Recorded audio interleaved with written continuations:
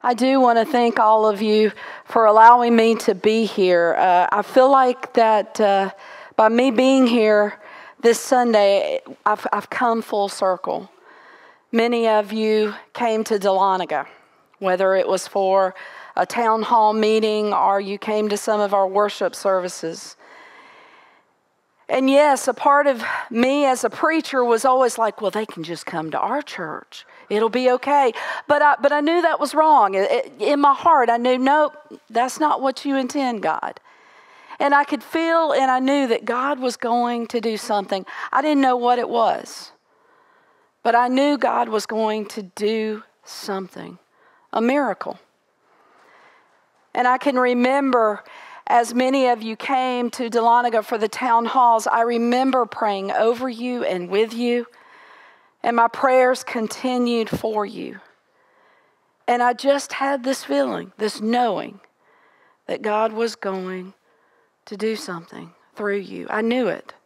I could see not just your faithfulness, but His faithfulness through you. And so today, to be here and to finally be a witness to the miracle is joyous to hear and see and know what the Holy Spirit is doing. I know sometimes you think, but we had to leave.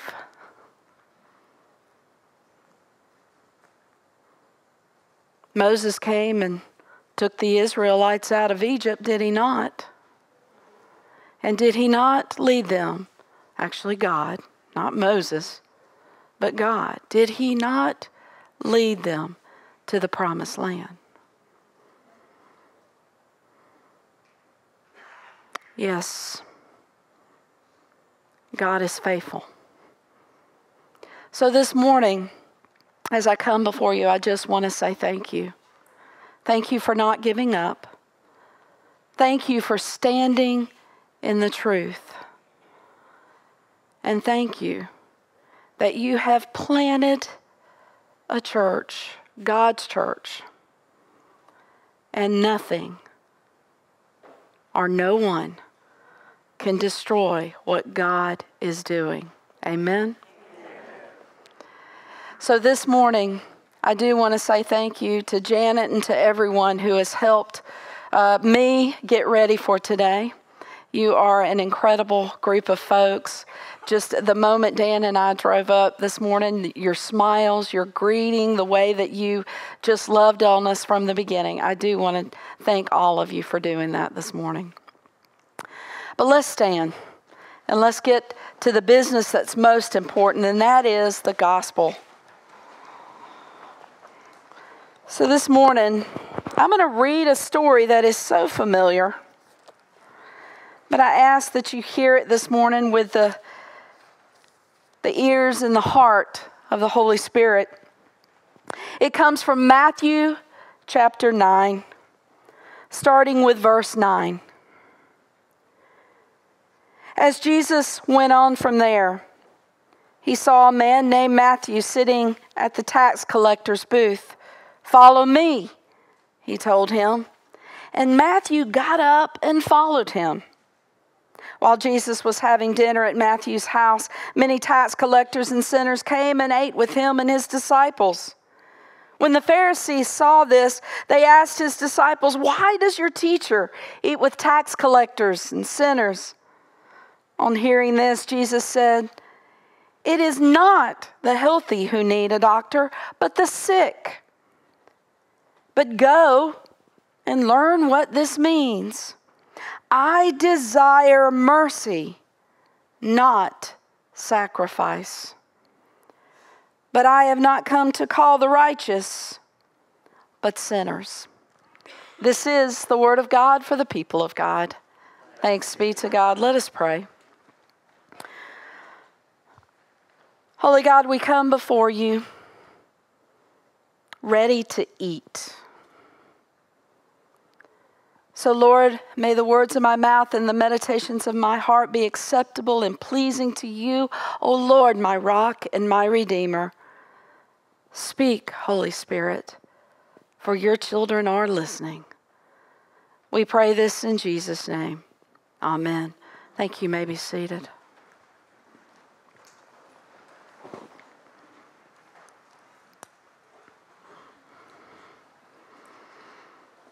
Matthew. How many of you watched The Chosen? Yep, me too. And if you know, a lot of folks ask me, they're like, do you actually, you know, go and see the movies that are about the Bible and all that? Not usually.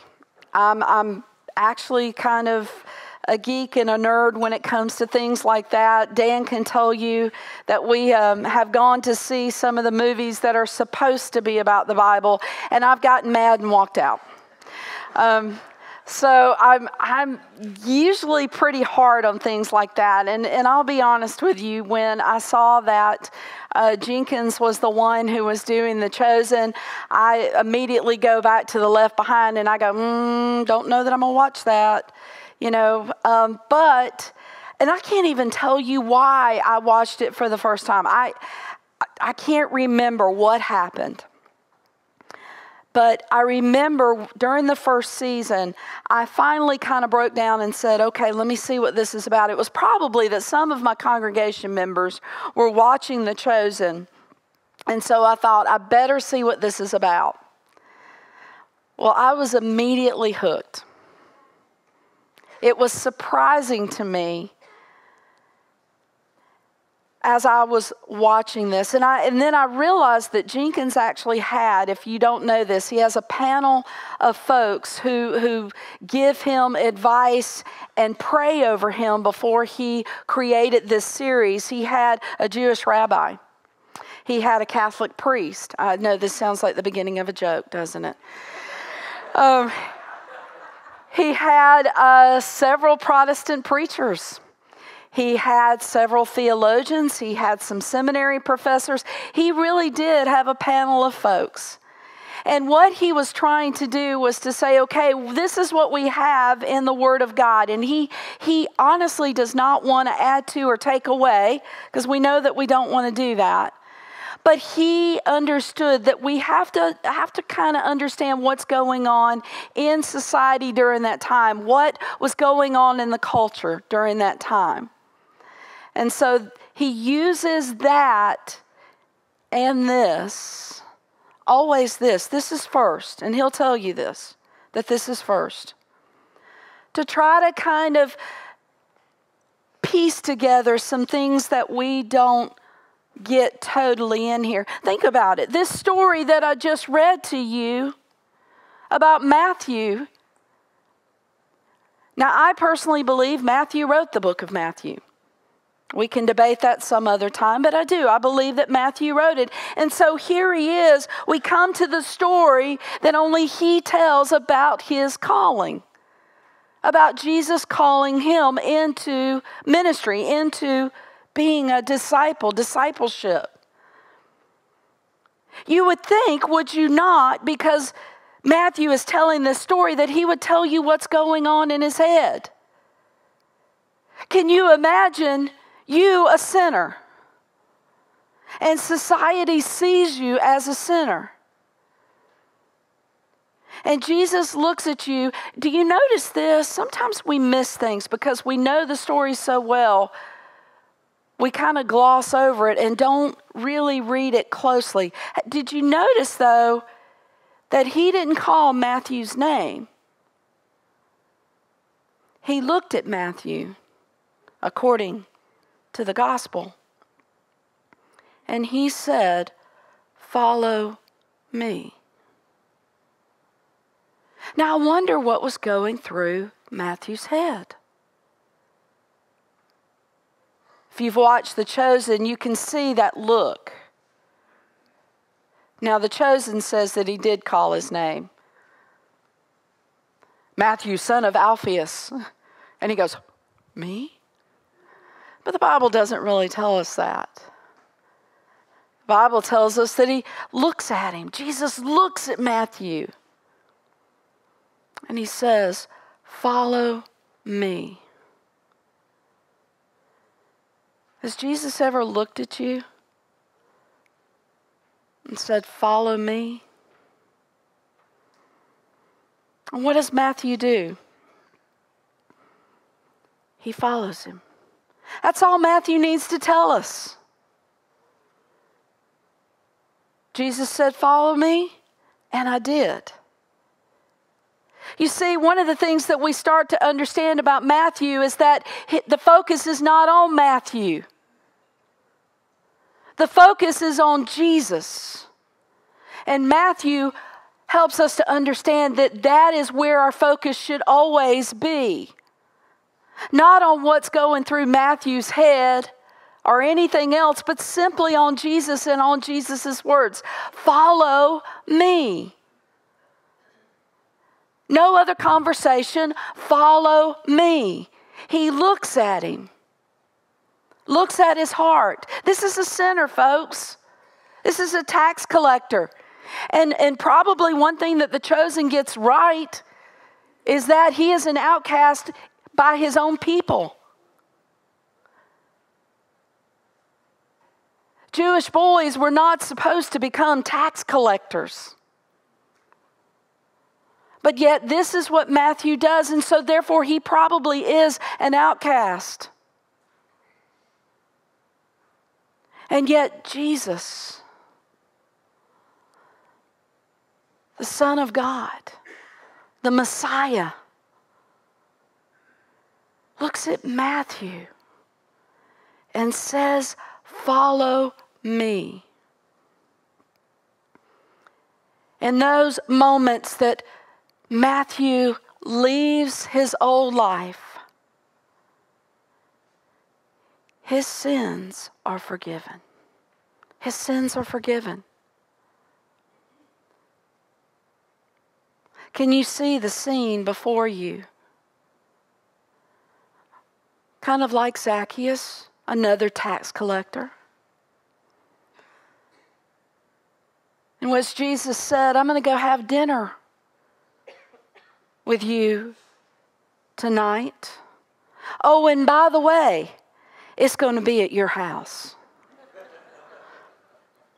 How many of you right now, if Jesus were to come to your house and have dinner, what would that be like? What does your house look like? In my case, I don't think there's any food in the refrigerator. We would have to have a, a miracle of loaves and fishes at my house.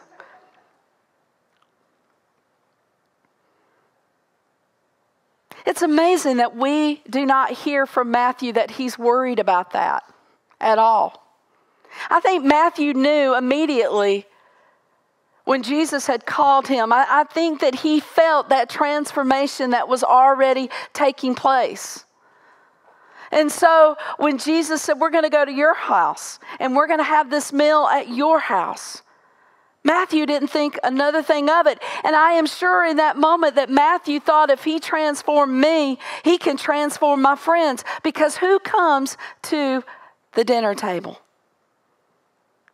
More tax collectors and more sinners and the disciples. But can you imagine when, when Jesus changes your life, you want to invite all your friends to the supper table? We're having a meal today. Who have you invited to the supper table? A lot of times, what we miss in this story, too, is that when Jesus calls us, when Jesus says, Follow me, then he's asking us to be the host. He's asking us to be the host so that Jesus may transform the lives of others. And that's what you, Sawnee Ridge, have become.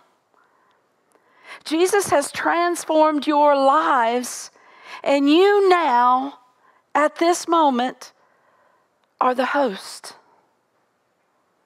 Who have you invited to the supper table? Who have you invited?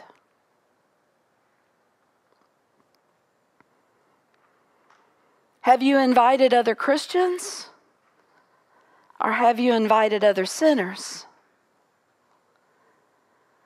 Have you invited folks that look and act and live as you do?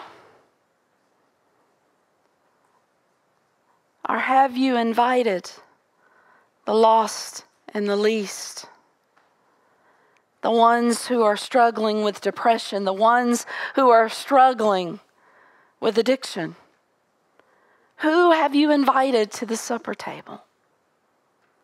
God has planted His Spirit in this church. It is a miracle. Do not miss the miracle. And He desires to continue that miracle through you. He doesn't need you, but He's going to use you. Oh, what a joyous thing to be used and to be called by Jesus. Who are you inviting to the supper table? Who are you inviting to the miracle? The Pharisees mock Jesus, do they not? They can't believe, they, they miss the transformation of Matthew. They miss that totally. Just like they miss it when the blind see and the lame leap for joy, they missed it again. And all they are worried about is the fact that Jesus is eating with sinners and tax collectors. And what does Jesus say to them? It is not the healthy who need a doctor, but it is the sick. Who have you invited to the supper table? Who have you invited to receive a miracle today? For the last eight years, Dan and I have gone to a conference called New Room Conference. It was in areas of Nashville, around Nashville, for many years, but the church we were meeting at was undergoing some construction, and so we couldn't meet in Nashville this year. So instead, Dan and I just got back from Houston, Texas. We met at the Woodlands Methodist Church in Texas, Houston. When New Room first started out, it was 200 folks. The next year it was like 800, and then it was 1,200. This year there were almost 3,000 folks in attendance at the New Room Conference. Yeah, miracle. It is a miracle. Last year, when we were still meeting in Nashville, we began to bring some young adults with us. Again, who are you bringing to the supper table? But we brought some young adults with us. There was one particular young adult who was struggling with alcoholism only in her 20s, late 20s. She had struggled since she was 12 years old with alcoholism. She will tell you the first time that she took a sip of alcohol, she was addicted. The first time she took a sip, she was addicted. We had been praying over her so many times, but she came with us last year it was a miracle just the fact that she came. You see, I believe that she, like Matthew, heard Jesus saying, Follow me, follow me. And so we brought her to New Room last year, to that conference. And there were incredible things that happened there, but it began in prayer. We prayed over that young woman constantly during that week. It got to be where she'd look at us and she goes, Oh, they're coming after me again. They're coming after me again. It's like, Yes, we are. And it started there. It started with prayer, praying over her. But finally, there was a moment in which we had an anointing service. and she was invited to the table. Where she received the body and blood of Jesus Christ, where she was anointed, baptized in the Holy Spirit. She had been baptized by water, but now she was truly baptized in the Holy Spirit. She, like Matthew, heard Jesus say, Follow me. And she was invited to the table.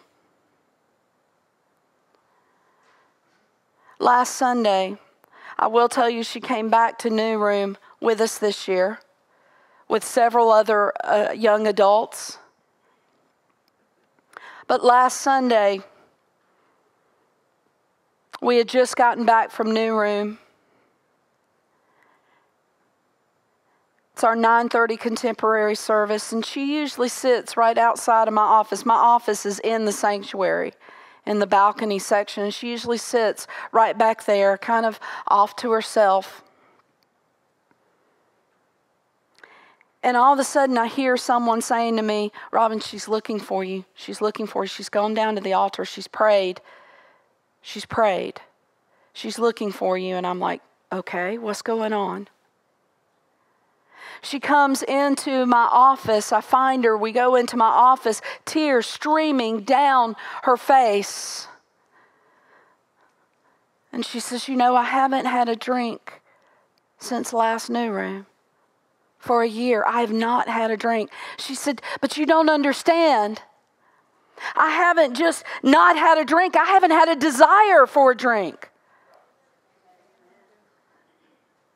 I hear people talk about how they have dreams about, I don't even dream about it. I don't even want it anymore.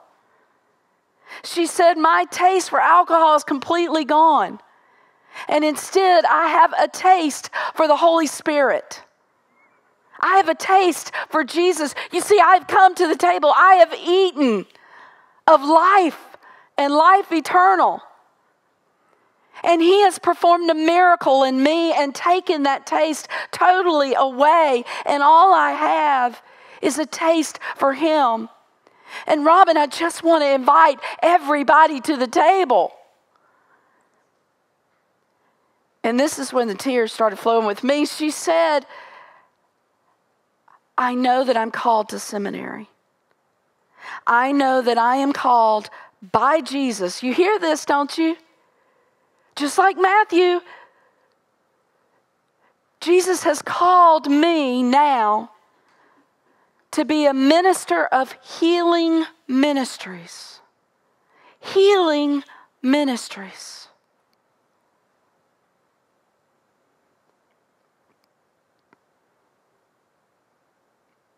Jesus desires mercy,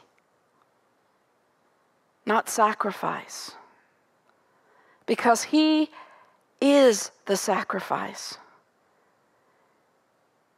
He's died for all of us. For you and for me and for that young woman. He is the sacrifice. And when you know that, and when He calls you,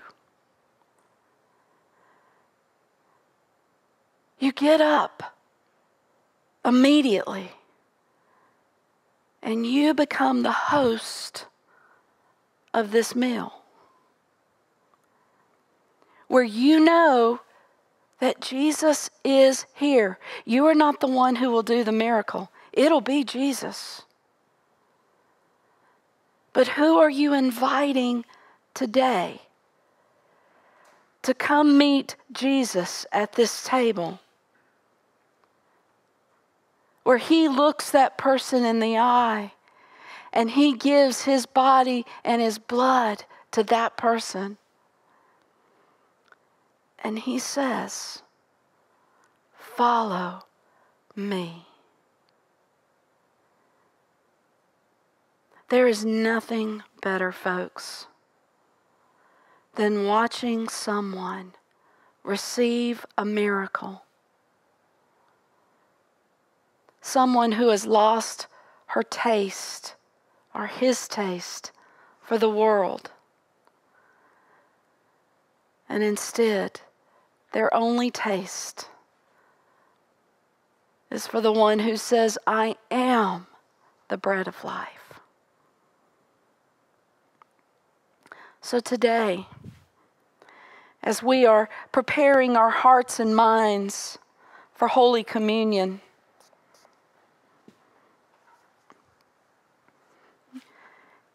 going to ask you again who are you inviting to the table?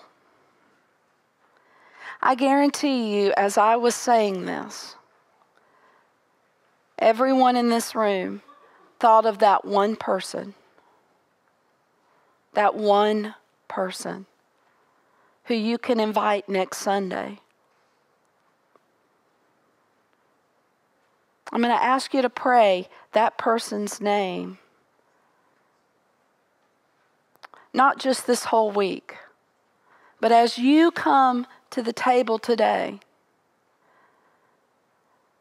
to pray that person in your heart because the Holy Spirit already knows.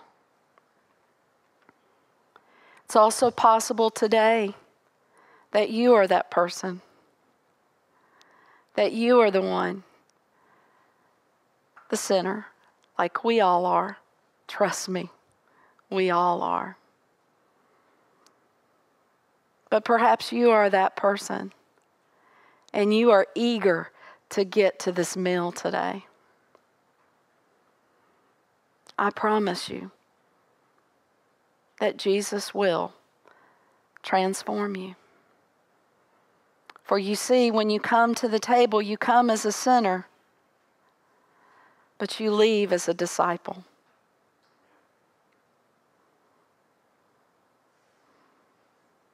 That's why you've planted a church, folks. Because Jesus showed you the truth. That we welcome all in the doors, we welcome all to the table. But we know and are certain that God doesn't allow us to stay in our sin, but He transforms us and He works a miracle that the world can never give.